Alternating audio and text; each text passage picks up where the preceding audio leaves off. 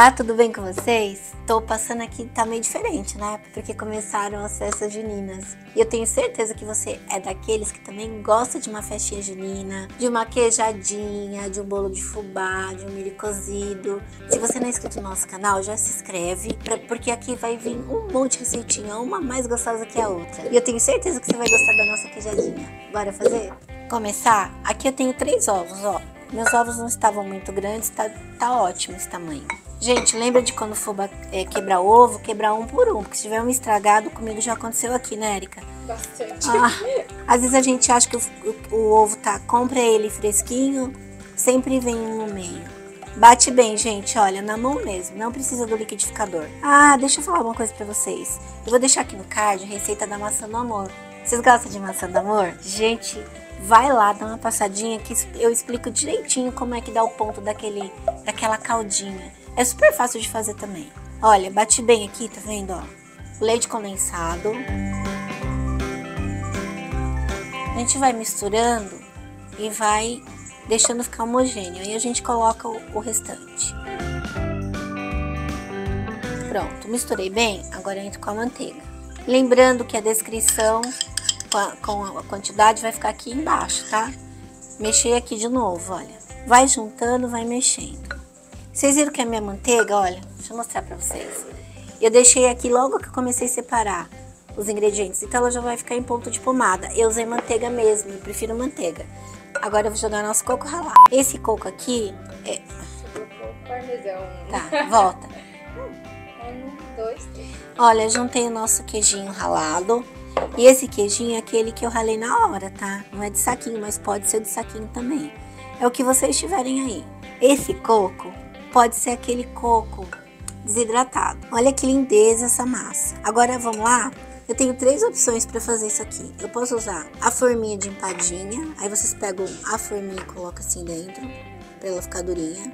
Senão ela vai se deformar inteira.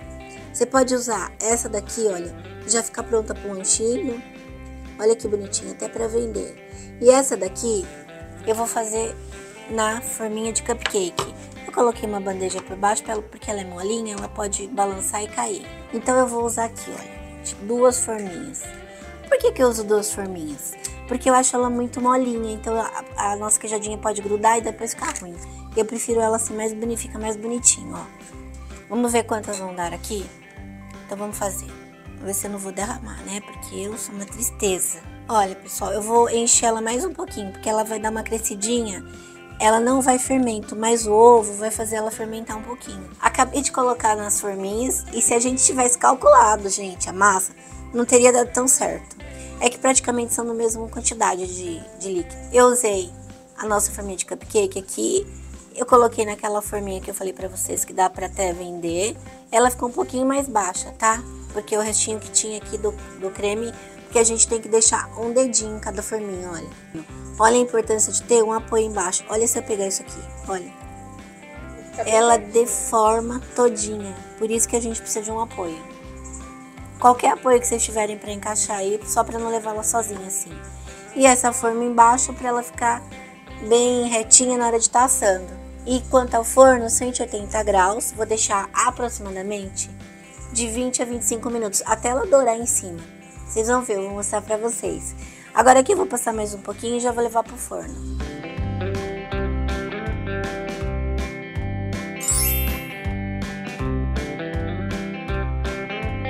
Nossas queijadinhas ficaram prontas. No meu forno demorou 25 minutos, porque ele já estava pré-aquecido, gente. Se ele não tiver quente, vai demorar uns 30 minutos. E se for forno a gás, pode ser que também demore mais.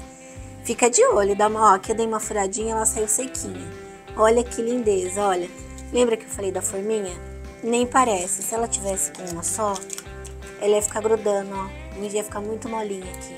Essa daqui já prontinha pro lanche, olha que lindeza. E essa daqui foi o que eu falei, olha. Ela deu sustentação para que ela não estourasse, certo? Então eu vou tirar todas daqui. Vou arrumar pra melhor parte, gente. Melhor hora. Eu não vejo a hora de comer isso aqui. Agora a melhor hora. Vamos lá? Olha, gente. Olha como ela fica aqui. Olha que linda. Gente, eu vou mostrar pra vocês que ela não fica oca. Deixa eu tirar aqui. Olha, que delícia e bem cremosa, olha. Meu Deus, fica maravilhoso. Gente, isso daqui ficou divino. Eu sempre faço aqui, mas parece que hoje ficou mais gostoso. Tá muito bom. Espero que vocês tenham gostado. E aqui eu tenho outra receita de queijadinha que eu vou deixar pra vocês, tá? Olha lá no cards. E até a próxima. Fiquem com Deus.